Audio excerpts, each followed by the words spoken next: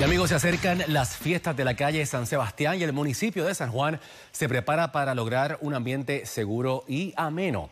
Hoy presentó un abarcador plan operacional que incluye transportación, seguridad y tránsito para que los miles de asistentes disfruten desde el 18 de enero en el Viejo San Juan. Lourdes Collazo nos dice más. Al ritmo de la bomba es el slogan que identifica esta edición de las fiestas de la calle San Sebastián y así comenzó la presentación del municipio de San Juan anunciando la logística operacional de transportación, seguridad y limpieza para las fiestas. Hay dos componentes en la seguridad.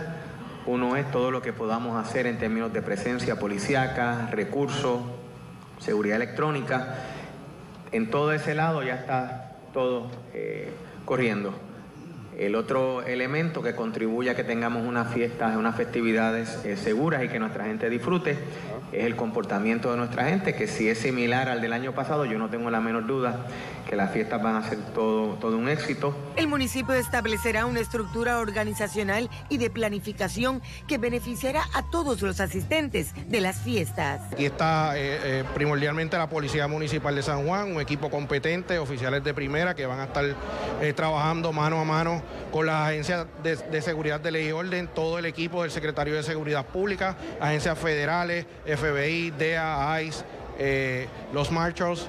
Eh, todos en conjunto. Todos en, ¿Cuántos efectivos van a estar aquí? Para garantizar cerca de 1.350 efectivos. Eh, van a estar trabajando durante la fiesta de la calle San Sebastián, mucha tecnología, cámaras de seguridad, eh, cámaras de seguridad. Vamos a estar implementando los eh, detectores de armas. Este año los aumentamos a 20. Las fiestas de la Sansa, que se celebrarán del 18 al 21 de enero, atraen a miles de personas de aquí del extranjero que planifican su asistencia y hasta la estadía con anticipación.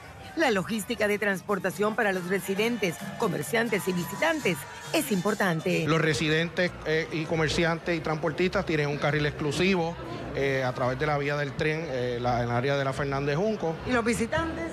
Los visitantes tenemos el sistema de transbordo en el área del complejo deportivo eh, Estadio Nambison Roberto Clemente, Sagrado Corazón. Hay una gran cantidad de guaguas que son adquiridas por el municipio de San Juan. Para Telenoticias, Lourdes Collazo.